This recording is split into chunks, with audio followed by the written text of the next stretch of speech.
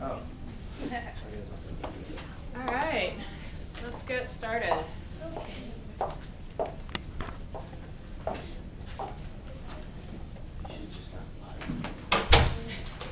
So before we begin, let me start with a few announcements. First announcement. Taylor's Hi. We're about to get started. Will I be in the way? I don't think so.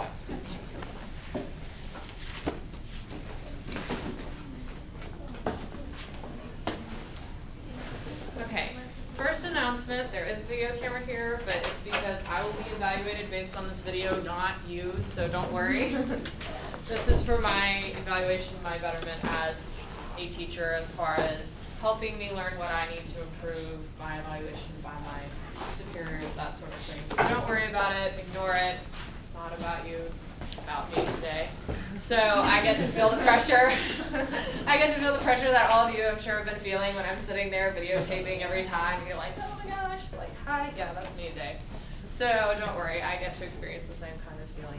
So to begin, I wanted to let you know that I will have your grades at the end of the week. I will be passing out slips of paper with your names on them to each of you that has your speech grade, your test grade from this past exam that we just took on Monday, and your midterm. So all of that will be passed to you on Friday. So is that good with everybody? Everybody's mm-hmm. all happy about that? Okay, cool. Well, first things first. Come on in. You're fine. Paper, put your name on it.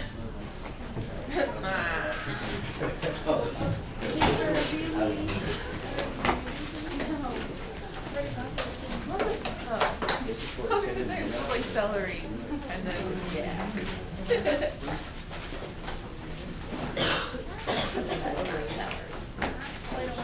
for. Kind of. You're gonna do something with it. It's not just put your name on it. You're gonna have. I was gonna give her half. That's why. No, you made a full sheet today. You made a full sheet of paper today. We're not doing half sheets. You need a pen too? You just take what you drew?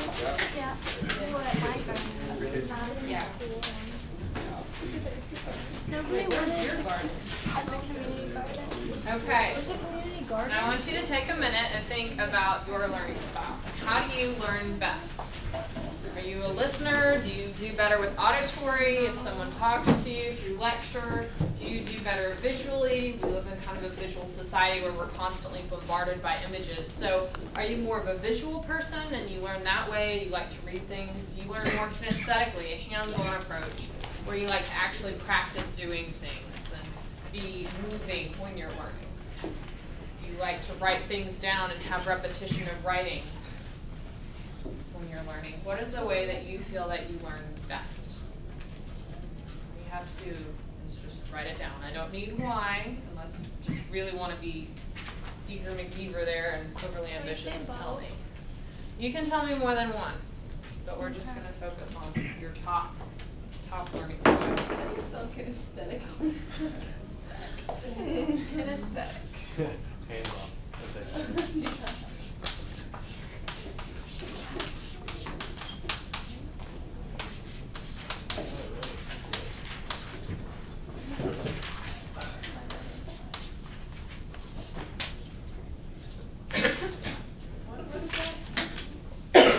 Aural is listening.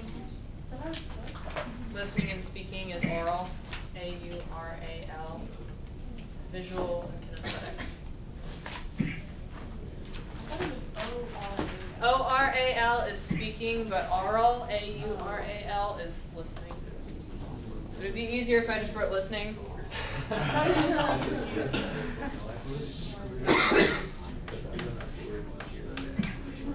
Vocab word of the day. Better? It's okay. Have I clarified, have I eased your confusion? Awesome. Okay, so everybody has their style? Okay, so who is kinesthetic? This is the first one. Oh my goodness, lots of people. One, two, three, four, five, six, seven, wait, I lost Those count. are our three options. One, two, yes, those are your three choices. Oh, I got something else. Yeah, me too. What else it be? Because you listed off on. Writing, yeah. Writing, Visual? but writing. That'd be more visual. Is that not hands-on? Yeah, there's reading, writing. Ah. Wrong end of the chalk. Downside of a chalkboard. Okay, kinesthetic people, I gotta count ya. One, two, three, four, five, six, seven, eight, nine, ten, eleven, twelve, thirteen. Thirteen! We like to move. Okay, visual people. One, two, three, four, five. It's been small in both classes. That's surprising to me. Listening. One, two, three, four. My writers? Two. Awesome. Okay. Well, it's interesting because in speech classes, a lot of the time, it's geared more towards people who have listening as their core, right? We have informative speeches. We teach each other about a topic that we might not have had any prior knowledge of, and then we listen. We absorb that information through listening. Well, today we're going to talk about visual elements to help enhance our speech. How can we enhance our speech through visuals? And what are examples of good visuals and what are examples of bad visuals?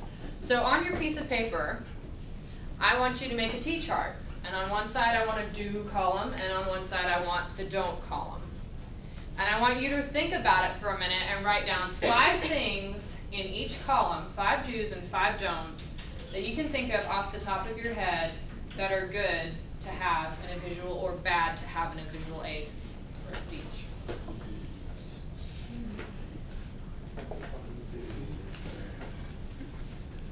Okay, so if you haven't finished writing that